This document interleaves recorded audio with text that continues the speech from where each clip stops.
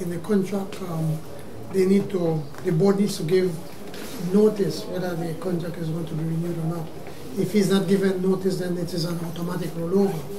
So what the board has decided to do is to list, uh, make an announcement um, for, for the position of, of CEO.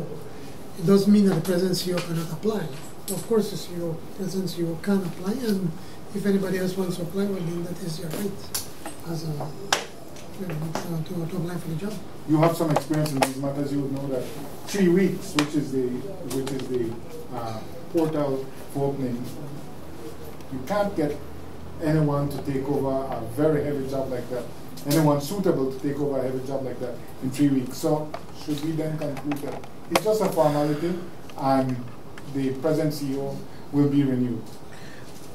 I don't know. I think that um, I was at the Webber report. I let me start with that. But I do believe that um, a number of people have been looking at the possibility of that job being open. So the ones that are interested, I'm sure that they need less than three weeks to be able to put in their application. We know that in order to get a job like this, you have to be politically favored.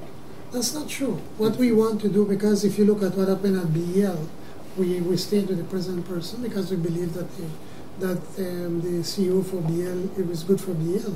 So what we want to be able to do is to be um, BEL. Um, yes, well, Mr. Mencias said he is good for BL, so we um, rehired him.